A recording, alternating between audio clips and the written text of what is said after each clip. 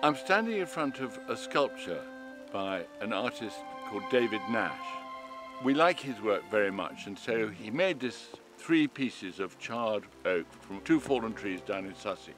When he installed it, he explained to us that it wasn't of anything, it was just an object. That explanation, I think, makes it easier to, because abstract sculpture is sometimes a bit daunting to look at, but there is no message, it's not of anything, it's just for, there, for, for all of us to enjoy. Um, I understand some of you uh, went to see parts of the Chatsworth collection. Yes. Uh, was this last week? Yes. Yes.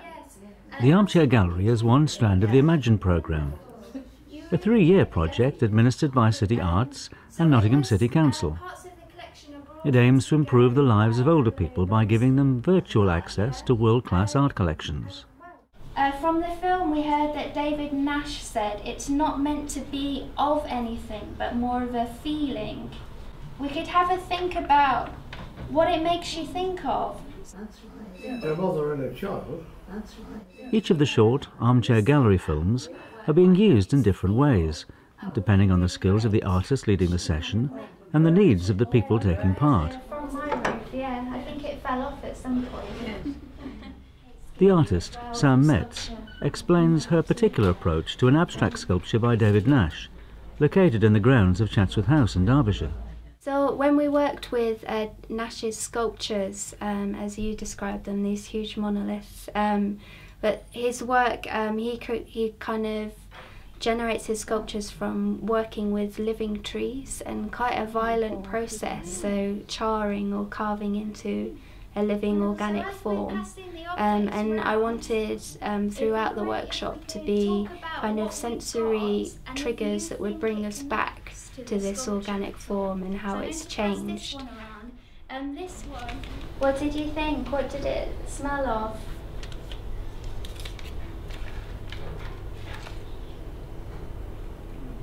Soap. It is soap, yeah. Oh, It is soap. Is it Lifebuoy? No, it isn't. Um, can you smell anything other than the soap in it? It's quite. A, it's a really strong smell, I think. Can't tell what it is. Oh, is it coal tar? Yes, Coal it is. tar. Yeah, yeah. So whether that was through touching wood or just the smell of tar, so this idea of violence and that dramatic technique that's used. Interesting. That's the smell. Jean, have a smell of this for me. Can you smell it? Yes. What does it make you think of? Sage. Hmm. Sage. Oh, So what are some of the problems of taking art workshops into a care home setting? people sometimes see creative work and artists as doing quite risky things. So don't know about, you know, people don't understand the work, don't understand what they're being invited to do, haven't tasted it, haven't experienced it, don't know what it is, so I'm frightened of it. You know, what what are we going to get from that? You know, if you're bringing medicine through the door and everybody can understand why people need medicine in bottles, much harder for people to grasp of why would you bring an artist through the door. And that made you think back there of um, tarring the roads, which is really good because that makes me think of smoke. Uh, the poem was Fire and Ice. It's just really great how much discussion em- emerged from talking about the poem. Some say the world will end in fire.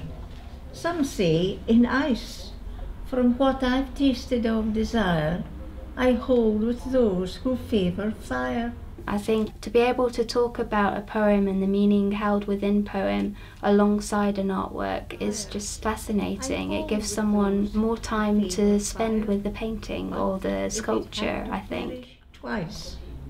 I think I know enough of hate to say that for destruction, ice is also great and would suffice. Wonderful, thank you. Thank you. What's it about then? What's going on in it? I think the people that are most receptive to this work um, are, are the people with imaginations, and I've got to say, often people don't know they have them. Um, they, they don't know that they have them. So, and this work accesses that, that part of people. Can I borrow your pencil if you finished? Oh, yes, of course. Lovely, thank you. If you roll right up to my finger, To create a monoprint, you ink up the glass plate. The ink's quite sticky, so that when you place a sheet of paper on top um, and kind of draw your image, it um, is very good because it picks up your gesture. It allows people who perhaps don't feel they have the dexterity or don't feel comfortable with the process of drawing to still engage in mark making, create some interesting prints. That's it. Don't press on the paper. Right? Just draw your design. I'm just going to move you this way.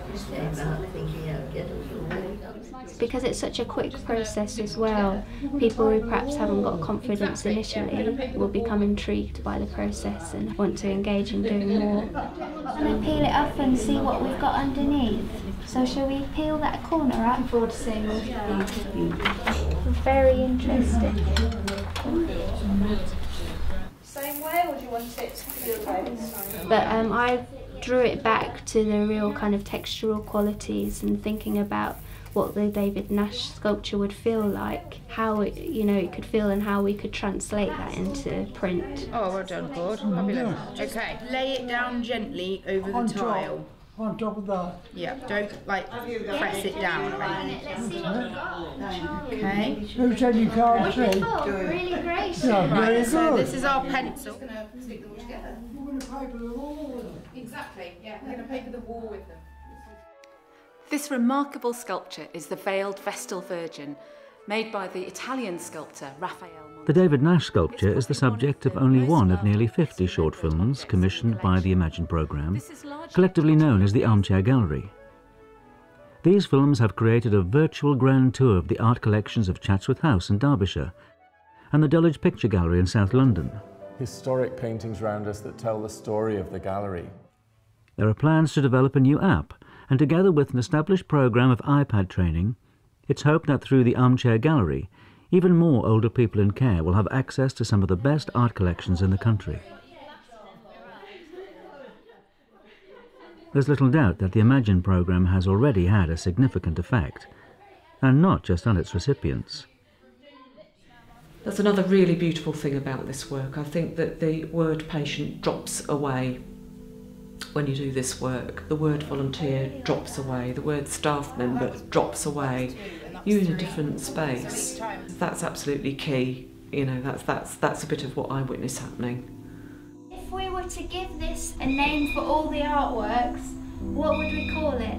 Uh, Chatsworth Abstracts. Oh, lovely. I like that one.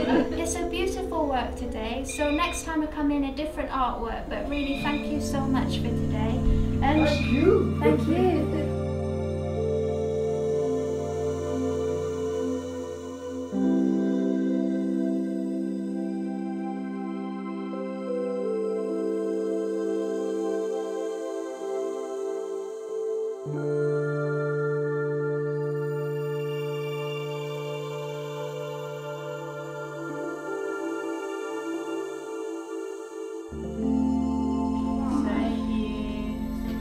We're getting the hang of it now, aren't we?